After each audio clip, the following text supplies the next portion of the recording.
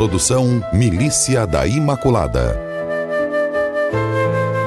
Neste ano da oração, atendamos ao pedido da Virgem Maria rezando o rosário ou terço diariamente. Para o Papa Bento XVI, o rosário é a oração bíblica tecida da Escritura Sagrada, oração contemplativa do coração que tem Jesus como centro. E São João II, ele explica as riquezas dos mistérios dolorosos, onde eles indicam a paixão do Senhor, levando aquele que reza e os contempla a fixar neles o olhar do coração e a revivê-los.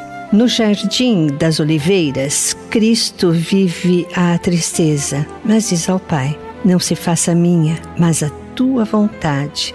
Este sim de Jesus muda um não que Adão e Eva deram no paraíso.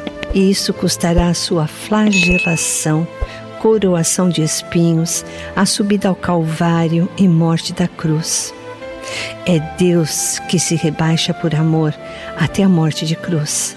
Na carta aos Filipenses, São Paulo diz: sendo Cristo de condição divina, não se prevaleceu da sua igualdade com Deus, mas aniquilou-se a si mesmo, assumindo a condição de servo e sendo exteriormente reconhecido como homem, humilhou-se, tornou-se obediente até a morte de cruz.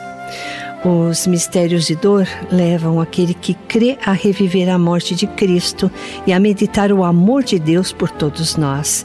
Entreguemos-nos a Maria, pedindo a ela que nos ensine a carregar a nossa cruz, fiéis a Deus como ela. Amém. Unidos pela fé, juntos com Frei Sebastião Benito Coalho, renovemos a consagração a Nossa Senhora. Virgem Imaculada, minha Mãe Maria, eu renovo hoje e sempre a consagração de todo o meu ser, para que disponhais de mim para o bem de todos. Somente peço que eu possa, minha Rainha e Mãe da Igreja, cooperar fielmente com a vossa missão de construir o reino do vosso Filho Jesus no mundo. Para isso vos ofereço minhas orações, sacrifícios e ações Ó oh Maria, concebida sem pecado, rogai por nós que recorremos a vós, e por todos quantos não recorrem a vós, especialmente pelos inimigos da Santa Igreja, e por todos quantos são a vós recomendados. Pela intercessão da Virgem Imaculada, nossa Mãe, abençoe-vos o Deus Todo-Poderoso, Pai, Filho e Espírito Santo. Amém.